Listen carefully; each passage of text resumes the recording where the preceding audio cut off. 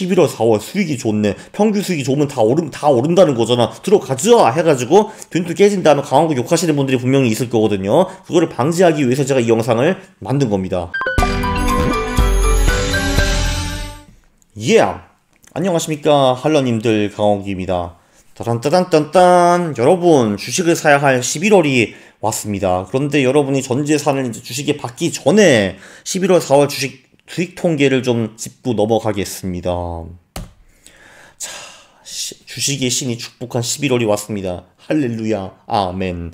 자, 그러면은 11월에 살고 4월에 말에 팔면은 떼돈을 버는겨. sell in May, go away라는 주식 속담이 있죠. 그런데 사실 정확하게는 sell before May, go away가 맞는 말이고요. 자, 그래서 한번 11월에서 4월 주식 통계를 분석을 해보겠습니다. 일단 11월에서 4월에 투자를 하고 그리고 5월에서 10월에 현금을 주고 있으면은 1980년부터 지금까지 어 8.2%의 복리 수익 플러스 배당 플러스 이자 수익을 볼 수가 있었는데요. 근데 코스피를 1년 내내 이제 주고 있었다. 12개월 내내 주고 있었다라고 하면은 수익이 7.9% 플러스 배당으로 줄어듭니다. 자, 여기서 왜 플러스 이자 수익이냐고 하면은 제가 11월에서 4월에 주식을 하고 5월에서 10월에 주식 투자를 안 하면은 그 돈이 비잖아요. 그럼 그거 가지고 제가 뭐 예금을 하든지 채권을 사든지 해가지고 추가 수익을 낼 수 있는 겁니다. 그래서 이자 수익을 낼 수가 있는데, 근데 제가 1년 동안 내내 커스피에 투자를 하면은 그 사실 그 커스피 수익밖에 못 받죠.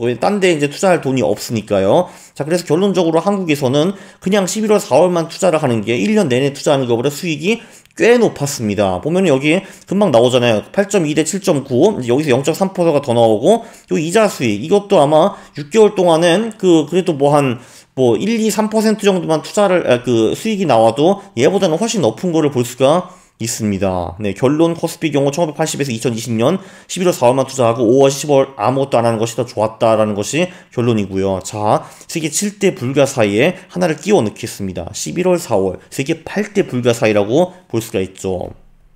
자, 이게 근데 한국에서만 보이는 패턴이 절대로 아닙니다. 300년 동안 전 세계에서 통하는 그런 전략이거든요. 110번 영상에 좀 자세히 나와 있습니다. 네, 11월 4월에 글로벌 그, 그 주식 수익이 8.4%였거든요. 이게 지금 65개 시장 기준으로 이제 300년 동안 본 것 같은데 5월, 10월 수익은 2.1% 4분의 1밖에 안 되고요. 1960년대부터 이 현상이 더 뚜렷해지고 있습니다. 65개국 중에서 45개국은 요 5월, 10월 수익이 주식 수익이 예금보다 낮, 낮다라는 결과도 나왔고요.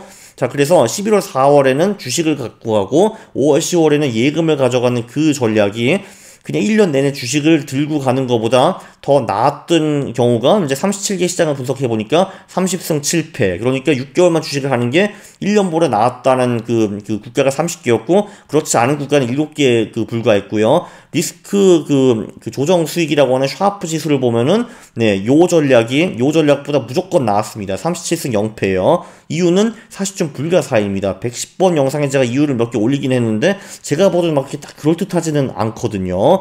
그리고 참고로 헬로윈이 이제 10월 31일 이니까 바로 헬로윈 끝나고 이 전략을 시행하는 게 좋죠. 11월에 주식을 사가지고 4월 말에 파는 거. 그래서 이 전략을 헬로윈 전략이라고 부르기도 합니다. 네.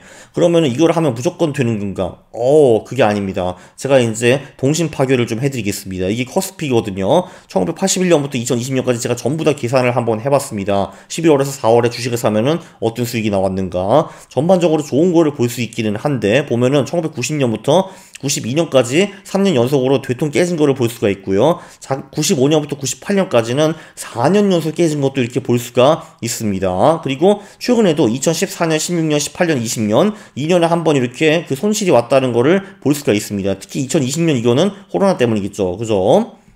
음, 그리고 뭐 중간중간에도 이제 그, 에, 그 수익이 안 나는 11월에서 4월이 꽤 있다라는 거를 강조하고 싶고요. 자, 95년 98 아우디. 음, 독일 같은 경우는 이 0000이 4개가 있기 때문에 4연패를 하는 거를 아우디를 했다라고도 말하기도 합니다. 자, 40년 동안에 코스피가 11월 4월에 오른 경우는 겨우 25번밖에 없어요. 그러니까 한마디로 40년 동안에 25번이니까 승률이 겨우 62.5%밖에 안 됩니다. 배당 포함은 아마 70%. 이건 무슨 말이냐면은 뭐 예를 들면 요때 있잖아요. 82년. 요때 아마 배당 수익까지 고려를 하면은 수익이 플러스로 전환되지 않았을까. 또 뭐 요런 때 있잖아요. 96년 요럴 때. 그래가지고 이거 요런 때 2018년 요럴 때도 있고요. 이래 가지고 배당 수익까지 고려를 하면은 그래도 플러스 수익을 난 경우가 한 70% 정도는 제가 보기에는 되는 것 같습니다. 어쨌든 우리가 11월 4월에 주식에 박아가지고 우리가 돈을 벌 수 있는 확률은 60에서 70%밖에 안 된다라는 게 지금 중요하고요. 물론 아 그리고 5월에서 10월에 커스피에 투자를 했다고 우리가 쫄쫄 굶고 아작나는 건가? 그것도 아닙니다. 여기 여기 승률은 보니까 22승 19패 53.7% 정도 되더라고요. 자 근데 여기서 중요한 게 뭐냐면은 음 11월 4월에 손익비가 2.53 이거는 굉장히 높은 겁니다. 이게 무슨 말이냐면은 11월 4월에서 이제 버는 해가 있잖아요. 뭐 예를 들면은 이런 해는 이제 버는 해잖아요. 이런 해는 이제 깨지는 해고 그죠? 자 근데 버는 해 평균적으로 21%의 수익이 난다고 하고 아 난다고 하는 게 아니라 제가 계산을 했고요. 그리고 깨지는 해에는 손실이 8.35%밖에 안 납니다. 그래서 요거에서 요거를 나누면 2.53이 나오거든요. 그러니까 평균적으로 우리가 먹을 때 깨질 때보다 2.5배를 더 먹는다라는 거를 볼 수가 있습니다. 그러니까 어, 결론적으로 11월에서 4월에 베팅을 하는 것이 굉장히 유리한 베팅이죠. 왜냐하면은 먹을 때 깨질 때보다 2.5배를 먹으니까요. 그리고 먹을 확률은 60에서 70% 정도 되는 거고요. 네, 그리고 그 희한하게 그래서 이제 11월 4월에 벌 경우에는 우리가 왕창 벌고 이렇게 이렇게 벌고요. 그리고 깨질 땐 조금밖에 안 깨진다라는 걸 볼 수가 있습니다. 5월 10월은 결국 완전히 틀려요. 손익도 1.02밖에 안 됩니다. 이기는 해는 평균 12.9%를 먹고 깨질 때는 12.6%를 깨집니다. 이게 굉장히 미스터리했습니다. 저한테는. 어쨌든 그렇고요. 자, 그리고 제가 그래서 20년 동안에 한국인은 모든 개별 종목을 다 한번 분석을 또 해봤습니다. 자, 보면은, 그러니까 요 평균 수익은 뭐냐 하면은 제가 그 1999년에 있었던 한국 11월에 있었던 한국인은 모든 종목에 똑같은 금액을 투자했다고 가정을 한 겁니다. 그렇게 하면은 뭐 몇백 개 기업에 제가 투자를 했겠죠.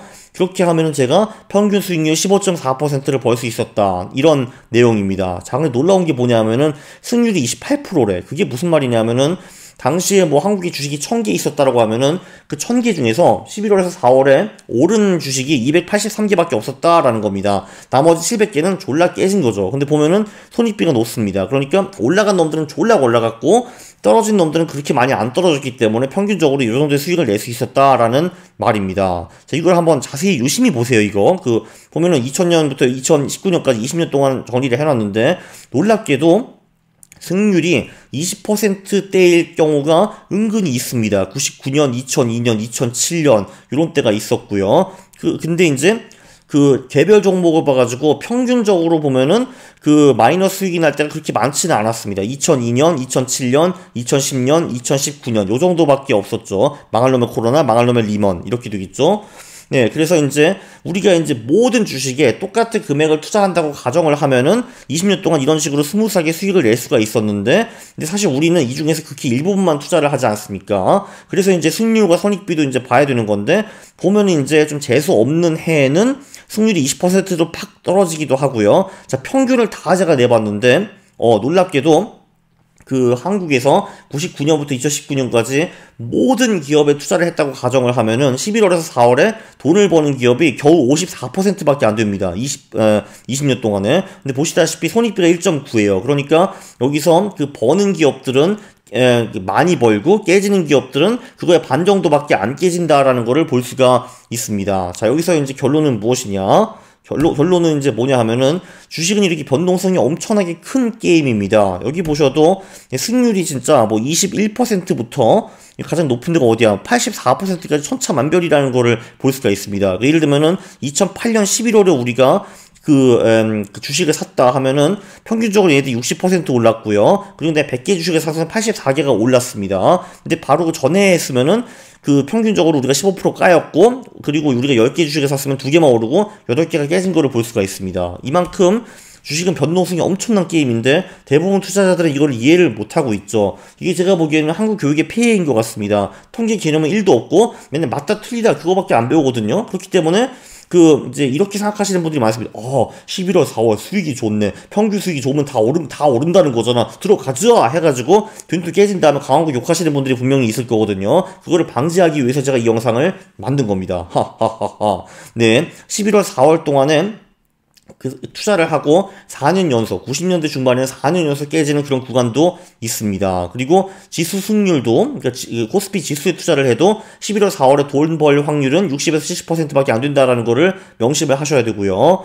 자, 그 40년이라는 긴 시간이 지나가지고 그래야지 이제 비로소 승률과 손익비가 보이면서 11월, 4월이 서서히 이겨가는 겁니다. 근데 올해 그게 잘 통하느냐? 그거는 저도 장담할 수 없다라는 겁니다. 왜냐면은 승률이 70%라는 거는 4년, 3에서 4년에 한 번은 이 전략이 꽝이라는 거거든요. 망한다는 겁니다. 11월, 4월에. 그걸 유념하시기 바라고요 개별주는 더 심각하신 거를 볼 수가 있었습니다. 어떤 해에는 정말 11월, 4월에 주식을 100개를 샀으면 그 중에 20개만 오르고 80개는 꽝인 적도 분명히 있었습니다. 근데 확실한 거는 길게 보면은 아주 긴 시간대를 보면은 11월 4월에 투자를 하면은 벌 때 보통 많이 보고 깨질 때는 좀 보통 덜 깨진다. 이런 거를 우리가 볼 수 있습니다. 어, 그래서 어쩌라는 거야? 주식을 사지 말라는 거야? 아니, 그건 아닙니다. 주식을 사면은 확률이 지금 11월 4월에 압도적으로 높기는 합니다. 그러나 그렇다고 해가지고 무조건 돈을 버느냐 그거는 절대 아니라라는 거를 제가 이 영상에서 말씀드리고 싶었습니다. 당연히 11월 4월에 주식을 사야 되고 주식 비중을 올려야 되는 거죠. 그래서 저도 지금 퀀트킹으로 미친 듯이 지금 종목을 지금 찾고 있습니다. 다 찾고 그럼 제가 당연히 또 영상을 올려가지고 난 이런 거 샀습니다 해가지고 나라면 이런 거 사겠다라고 당연히 올릴 겁니다. 뭐, 음, 오래 안 기다리셔도 됩니다. 하, 이것도 참 엄청나게 유익한 영상이었죠. 그렇게 생각을 하신다면 구독을 하시고 여러분 그 부모님, 친지, 친구 그리고 지인들한테 이 영상을 소개시켜 주시면 감사하겠습니다. 그리고 이 영상이 유익했다면 좋아요를 누르는 겁니다. 싫어요를 누르면 제가 매우 싫어합니다. 감사합니다.